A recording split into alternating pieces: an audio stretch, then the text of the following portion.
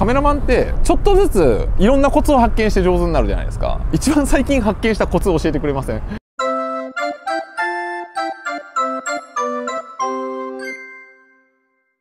最近発見した。もうこれなんか30秒ぐらいで最近発見したコツみたいなやつで なんかあの人のやつ聞いてったら面白いかなみたいな。最近発見したコツは、うん。バックパネルは使える何バックパネルって？透過傘あるじゃないですかあるあるある。トランスルーセント。うんうんうん。トランスルーセントの裏にあるねつけるバックパネルね。バックパネル。黒黒の。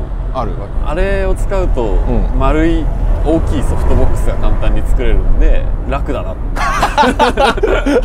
あでもねそういうのがいいの。あと普通の四角型のソフトボックスははい。意外と難しい、ライティングが？はい、えそれはなんどういう理由で？四角いからッチライトも丸くならないしなんか少し当て方が下手だと遠くからだとただの硬い光になる。近づけるとホワホワすぎる。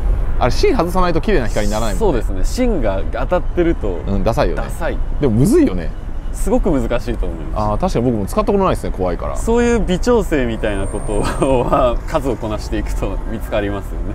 ああそうですね。すごい。家でやってみたりとか。家でやるのやっぱ家りでやります。あライティングのテスト？はい。やっあーすごいねやっぱ。ぱ距離ですよねその当てる。ああ距離が大事？ライトの？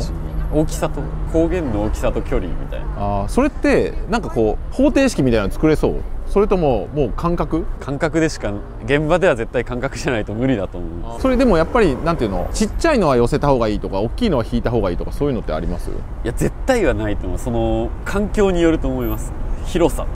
スタジオの広さとか。まああと壁の色とかね。そうです。ねそれはなんかやっぱりアシスタント時代にも身につかな身につきにくいことだと。思うあ難しいですよね。ちゃんとやってないと。自分でやんないと分かんないですよね。自分でやんないと分かんない。えじゃあたでも例えばライトの美味しいところってあるじゃないですか。美味しいところってやっぱ一定なのかな？その自分の好みにもよると思うんですけど自然光というかその柔らかい自然な感じに見せるためには頑張ってライトを大きい光源で寄せた方がまあ綺麗じゃないですか、うん綺麗ですね。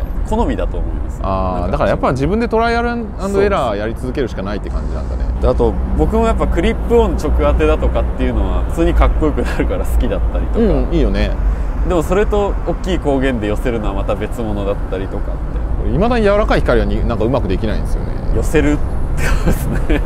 寄せると画角に今度は入んなくなってきたりするんで画角に入っちゃったりとか、ね。蹴られちゃったりとかもあるからトライアンドエラーしかないです。ああでもまあちょうどいい場所っていうのは多分きっとあるだろうみたいな。そうです。ありがとうございました。まあちょっとなんかその辺の最近発見したコツっていうのやりたくて。